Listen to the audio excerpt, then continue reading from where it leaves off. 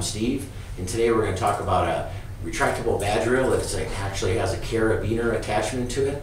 So a very interesting product. And before we get to that, as always, at the end of the show, we're going to have our bad photo idea of the day. So take a look at that. And this product that I have in my hand is our product number BR-CI-2120-7021. It's black as you can see. It's got metal, silver on, on chrome kind of um, around it. It's very attractive. Um, it's got the carabiner, so you can attach it to a belt loop and it'll stay very secure. It's very easy to get on and get off. Um, and it's rated for 100,000 pulls.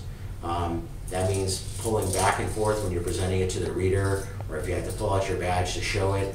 Um, a unique feature of this is it has a stainless steel grommet here, so less friction when you're pulling the cord back and forth. And a unique feature is, and it might be hard to see, it's got a little piece of rubber in between here. So when it goes back and hits the badge reel, it's cushioned, so that also helps it last a lot longer. Not to mention a stainless steel spring inside that keeps it going smoothly and for a long time. Um, it has a clear vinyl strap clip at the bottom. Snap your ID card on here, put it like that, and you're ready to go. Um, manufactured by a U.S. company to OSHA standards. Um, a very practical and good-looking uh, retractable badge reel.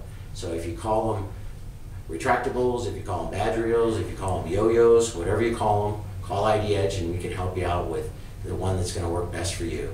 Um, and as promised, here's the bad photo ID of the day. While you're looking at that, any questions you have that you'd like to have answered on the show, submit them to us on our Facebook page, and we'll, if used on the show, we'll send you a nice little gift for participating. Um, call us on anything or to order something, it's 800 798 3343, or go to our website, idedge.com. We have a bold chat section there so you can communicate with us that way too. Um, thanks for your time.